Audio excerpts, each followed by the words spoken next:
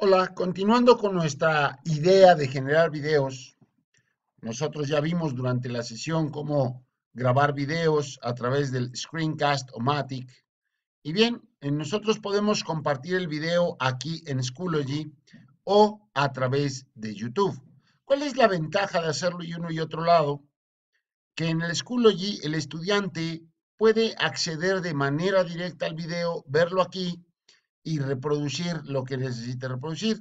Sin embargo, eh, me he encontrado con situaciones donde si el navegador no está bien configurado, si el video que hicimos nos equivocamos y no está en el formato adecuado, de pronto el estudiante tiene ciertos problemas para reproducir el video.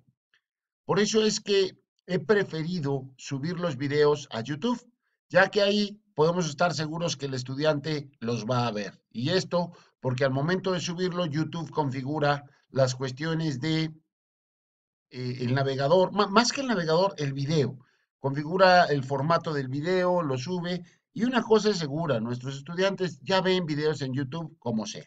Entonces, es más fácil que tengamos la certeza de que ahí los va a ver. Para ello, pues lo primero que tengo que hacer es entrar a YouTube. Vamos a entrar.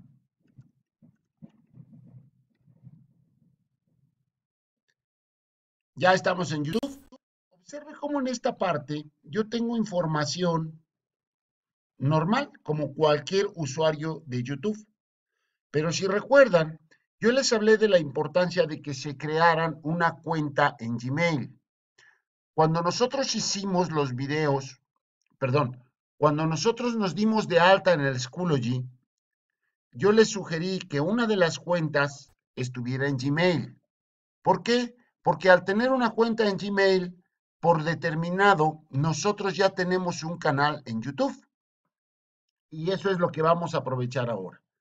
Vamos a decirle en la parte superior derecha de la pantalla, iniciar sesión. Observe cómo esto va a cambiar. Aquí lo importante es buscar la opción mi canal. Si se fijan, no la tengo. Entonces vamos a decirle que queremos iniciar sesión. Yo ya tengo dos cuentas vinculadas a través de YouTube, la del TEC, la que uso en el TEC, mi cuenta personal. Voy a usar mi cuenta personal para acceder. De inmediato me dice, ok, estás usando la cuenta gmail.com y estás usando tu contraseña. En este caso, yo mi contraseña ya la tengo eh, en, recuérdame, así es que no tengo que teclearla, pero en este espacio tú tendrías que teclear esa contraseña. Vamos a decirle iniciar sesión. Y observen cómo ya me aparece una opción que dice mi canal. Además de otras posibilidades. Observen cómo aquí en la biblioteca yo ya tengo el curso de Schoology, donde están los videos de Schoology. Tengo otros videotutoriales que he ido creando poco a poco. Sin embargo, acá lo importante es mi canal. Vamos a ver mi canal. Dentro de mi canal me dice Víctor Mañón, tú ya tienes todos estos videos. Esta parte de aquí les va a parecer un poco distinta. Ustedes pueden colocar y actualizar las imágenes que así deseen. Pero una parte importante es la siguiente. Observen esta, dice listas de reproducción. Insisto en mantener el orden. ¿Se acuerdan que cuando nosotros subimos nuestra información a Schoology, me voy a regresar al curso, creamos carpetas, carpetas que me, me permitían tener ordenada la información que yo quiero estar compartiendo con los estudiantes. Me regreso a YouTube. De igual forma, les sugiero que su información aquí esté dentro de carpetas. Y estoy haciendo las comillas. En el caso de YouTube no son carpetas, se llaman listas de reproducción. Entonces, lo primero que vamos a hacer es crear una lista de reproducción. Para crear una lista de reproducción, yo aquí le voy a decir en biblioteca que quiero una nueva lista de reproducción. No olviden, biblioteca y nueva lista de reproducción. Le damos clic y de inmediato me dice, ¿cómo quieres que se llame esta lista de reproducción? le voy a poner prueba video. ¿Ok? Le damos crear. Y en ese momento yo ya tengo una lista de reproducción que se llama prueba video. Aguas, tengamos cuidado. Si yo ocupo esta opción que dice añadir videos, voy a agregar videos que ya son existentes en YouTube. Y si yo ocupo esta flechita que está aquí, voy a subir videos que yo tengo en mi computadora. En este caso, yo lo que quiero es subir un video que ya está en mi computadora. Entonces, le damos subir. Me dice selecciona el archivo que quieres subir a YouTube. Vamos a darle un clic. Y entonces ya puedo seleccionar el video que yo quiera subir. Vamos a buscar un video.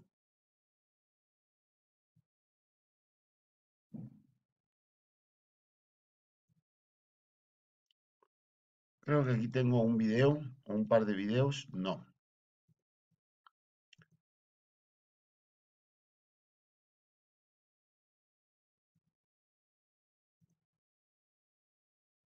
Estoy buscando simplemente el archivo en el que quiero subir el video. Por ahí vi una carpeta que se llama videos. Aquí.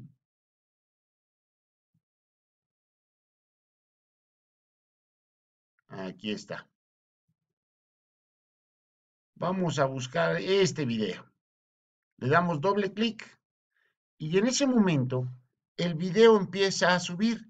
Este es un proceso que yo les sugiero sean pacientes, toma algún tiempo pero algo muy importante, voy a quitar de aquí esta imagen, es decirle, mientras está subiendo, en qué lista de reproducción lo quieres.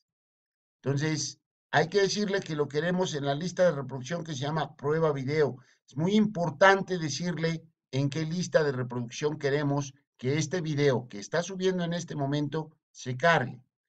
Por otro lado, en esta parte es muy importante decirle el nombre que yo quiero con el que identifiquen mis estudiantes este video.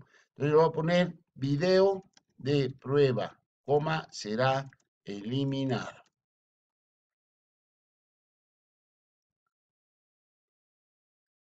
Y listo, tenemos que esperar a, a, que el video suba. No me voy a esperar, aquí me dice que le falta una hora con siete minutos. Es un video bastante pesado el que elegí para subir pero esa sería la forma en la que nosotros tendríamos que estar subiendo videos. En la opción de gestor de videos,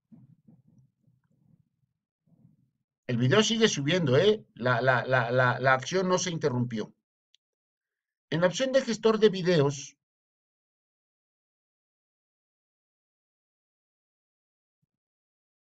yo puedo ver cada uno de los videos que he visto ver las visualizaciones que ha tenido, los comentarios si es que me han dejado, eh, eh, los likes que me han dejado, los no likes que me han dejado, si se fijan, pues en realidad no tengo gran cuestión por parte de mis estudiantes, pero yo aquí podría estar administrando el video. Este es el video que en este momento está subiendo, este, este, este, este. Entonces, vamos a seleccionarlo y vamos a buscar las acciones para los seleccionados. Yo aquí podría hacerlo privado y solo compartirlo con ciertas personas, público, oculto, digo, no tiene mucho sentido, yo normalmente los dejo públicos, e incluso puedo eliminar el video. En este caso es lo que voy a hacer. Voy a eliminar este video para que ya no termine de subir. Me pregunta, ¿está seguro? Sí, sí, lo quiero eliminar. Y si se fijan, el video ya ha sido eliminado y la carga fue interrumpida. Me voy a regresar a esta parte de listas de reproducción. Y aquí yo tengo las listas de reproducción que ya tengo creadas. Desde este punto también podría yo crear una nueva lista de reproducción. Aquí me dice que la lista de reproducción prueba video está vacía. Fue la que acabamos de crear y no dejamos ningún video. Ahora, como está vacía y no le voy a subir ningún video, solo la estoy usando como ejemplo, la voy a eliminar, no tiene sentido tenerla. En la parte que dice editar,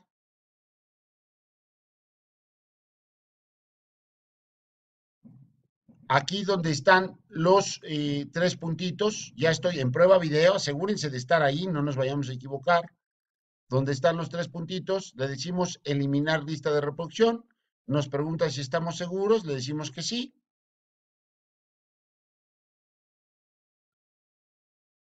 Damos unos segundos. Listo. La lista ya no está. Entonces, ya vimos cómo firmarnos en YouTube con nuestra cuenta de Gmail. Ya vimos cómo crear una lista de reproducción para mantener ordenada nuestra información. Ya vimos cómo subir videos que yo ya tengo creados en mi computadora y al mismo tiempo ya vimos cómo eliminar un video y cómo eliminar una lista de reproducción. Bien, espero que este video les sea de utilidad y les ayude para que puedan ustedes ya administrar los videos que deseen subir al YouTube. Muy bien, muchas gracias y espero que el video les sea de utilidad.